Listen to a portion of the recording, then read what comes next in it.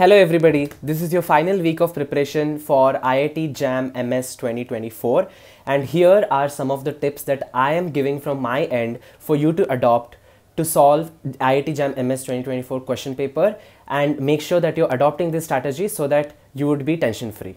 Based on the syllabus of IIT JAM MS 2024, I'm gonna give you the order in which you should solve the questions based on the topics.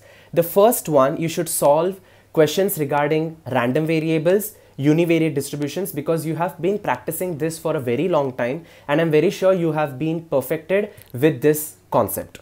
The second order is the limiting distributions, limit theorems and sampling distributions. Questions regarding Chebyshev's inequality, central limit theorem and Markov's inequality. All these inequalities are very easy to adopt. You can just see the question and you can guess that this inequality is applying here and you can solve this question. So the second order should be this. The third order of solving the questions should be testing of hypothesis. If you see the IIT JAM MS previous year question papers, all the testing of hypothesis questions come very easy. Some of the questions are very easy and some of the questions are hard to interpret. Make sure that you're solving all the easy questions that are coming from testing of hypothesis.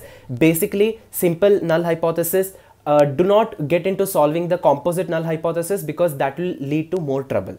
The fourth order of solving the question should be from estimation regarding sufficiency, consistency, UM, VUV and other estimators. Why? Because these kind of questions usually come in multiple answer questions and you have to take some time to understand what the questioner is asking you and based on that you need to solve these questions so that's why you need to solve this in the fourth priority and the last priority, the fifth priority should be probability related questions. These questions come in long format and it takes a lot of time for a person to read and interpret what is being asked and what probability needs to be calculated. So if you waste your time in the initial uh, regarding probability related questions, you will miss out on all other easy questions regarding uh, random variables, joint distributions, PMF. All these are very easy questions while I'm telling you about the statistics, I'm also keeping in mind the mathematics part as well. So in the mathematics, in case you come across some questions which are easy in mathematics in between the statistics questions, you solve them. If you are not able to solve these questions, leave it and then go to the next question. So your first round of going through the question paper should be only solving those questions which require only 30 to 40 seconds. Based on this time, I have deduced the order in which you should be solving the questions in statistics.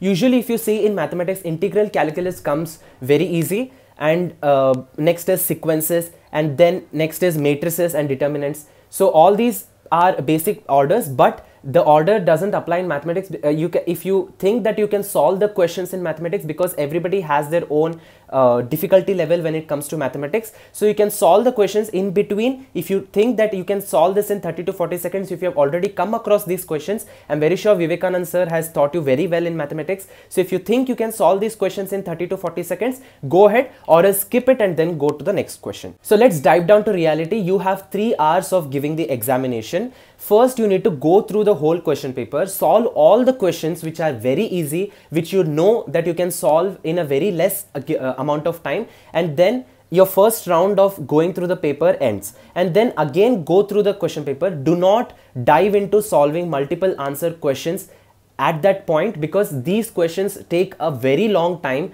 to analyze and interpret which option is correct because you need to go through every option. Whereas in multiple choice questions, you might come across questions where you just need to compute the value and then uh, check if the value is there. Even the same thing applies to numerical answer questions as well. So first make sure that your priority of the sections, multiple choice questions and then comes the numerical answer type and then last one comes the multiple answer questions. One thing to keep in mind is you do not have to solve each and every question. So first thing is you need to realize this is an entrance exam where everybody is facing the same kind of difficulty that you are facing. So first normalize that fact.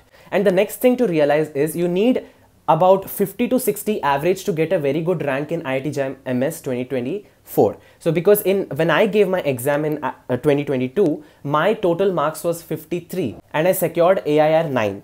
So you just need some marks. So how you can get this is you need to solve it very smartly.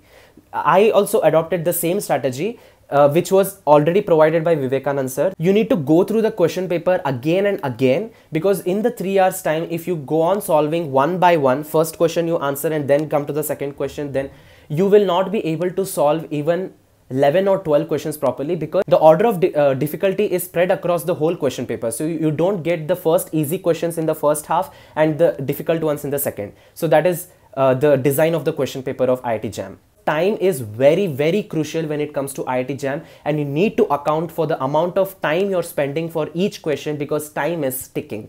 Usually in numerical answer type, you get some easy questions that you can solve in statistics. Maybe it might be related to testing of hypothesis or maybe just calculating expectation or variance or using conditional expectation. So these kind of questions that you have practiced throughout your year. So make sure that you're solving this in the first half itself. So that in the second half, you're just keeping those questions which are hard for you to solve in the first go. Time should be your first priority. It is not a test for your entire intelligence that you have gathered in one year. Maybe you have solved this question earlier, but in that exam, you are, you are not able to solve that question. It is entirely normal. You can skip that question and go to the next one. You can just solve those questions which you are able to solve. So that should be your strategy that you should be adopting in the first place. In the last 15 to 20 minutes left, please stop solving the question paper. Analyze the entire question paper that you have solved and make sure that you have ticked the right option that you have got. Maybe you might have got the expectation as 5 but you have clicked it as 6 because there is so much nervousness happening.